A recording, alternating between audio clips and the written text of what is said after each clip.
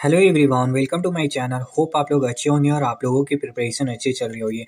आज मैं आप लोगों के साथ आरबी असिस्टेंट का स्कोर शेयर करने वाला हूँ कि कैसे आप आराम से इजीली 90 प्लस स्कोर कर सकते हैं। अगर आपकी तैयारी अच्छी सी है, थोड़ी बहुत भी, और अगर आप सिलेबस अच्छे से कंप्लीट कर चुके हैं तो आप बहुत ईजिली 90 स्कोर कर सकते हैं 90 प्लस बहुत जल्द आरबी असिस्टेंट की एग्ज़ाम होने वाली है। आप लोगों के पास टाइम बहुत कम है, इसीलिए आप लोगों को अब ज़्यादा से ज़्यादा मॉक देना है।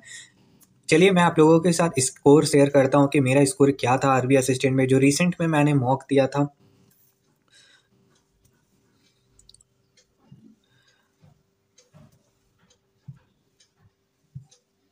तो यहाँ पर आप देख सकते हैं रिसेंट में आरबी असिस्टेंट 2022 का जो मॉक था बाईस फरवरी का मॉक है, ये चलिए रिज़ल्ट देखते हैं। तो रिज़ल्ट में आप लोग यहाँ पर देख सकते हैं कि मेरा टोटल 95.50 स्कोर बना है। रैंक जो है वो रैंक फाइव है टोटल लगभग साढ़े ग्यारह हज़ार स्टूडेंट में।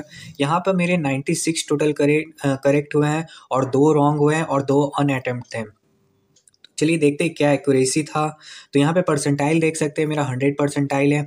Accuracy ninety eight percent percent है और एटम भी नाइन्टी एट परसेंट है। यहाँ पे मैं आगे आप लोगों के साथ शेयर करने वाला हूँ कि क्या क्वेश्चन ऑफ़ लेवल थे, किस टाइप से क्वेश्चन पूछे जाते हैं। तो सबसे पहले देख सकते हैं आपकी इंग्लिश लैंग्वेज में टोटल थर्टी क्वेश्चन में मेरा ट्वेंटी नाइन अटैम्प्ट था और ट्वेंटी नाइन करेक्ट गया। मतलब हंड्रेड परसेंट एक्यूरेसी था। क्वान्टिटिव एप्टीट्यूड में मेरा thirty five question total thirty five question थे अटैम्प्ट मेरा थर्टी फोर था और करेंट थर्टी टू था और एक अन अटैम्प्ट था। रीजनिंग में टोटल थर्टी फाइव क्वेश्चन थे थर्टी फाइव अटैम्प्ट किया हूँ मैं और टोटल थर्टी फाइव सही किया है। तो देख सकते हैं यहाँ पे मेरा ओवरऑल ये था। रैंक चलिए अब देखते हैं तो ओवरऑल रैंक यहाँ पे मेरा फिफ्थ नंबर पे शो कर रहा है। चलिए देखते हैं कि कौन कौन सा क्वेश्चन जो है वो मैंने आपके साथ मिस किया था मतलब अन अटैम्प्ट क्वेश्चन था तो यहाँ पे देख सकते हैं, ये रीजनिंग में यहाँ पे आप लोगों को जो क्वेश्चन और लेवल था, ये पैसेज रिलेटेड तो पैसेज काफ़ी ईजी था, बहुत सिंपल वर्ड्स के पैसेज थे। आप लोगों को ज़्यादा डिफिकल्टी नहीं देखने को मिला था।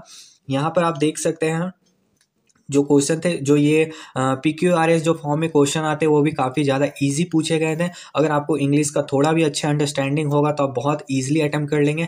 मैथ का जो लेवल था, वो बहुत कम था, बहुत लेवल था मॉडरेट से भी कम था मतलब ईजी लेवल का था। यहाँ पर सिंप्लीफिकेशन से ज़्यादा क्वेश्चन आप लोगों को देखने को मिला था। एक क्वेश्चन मेरा यहाँ गलत हो गया था अप स्ट्रीम और डाउन स्ट्रीम से, और दूसरा गलत हो गया था मेरा मैंसुरेशन चैप्टर से। और जो अन अटैम्प्ट था, वो मेरा प्रोबेबिलिटी से था, क्योंकि मैंने अभी तक प्रोबेबिलिटी चैप्टर नहीं पढ़ा हूँ।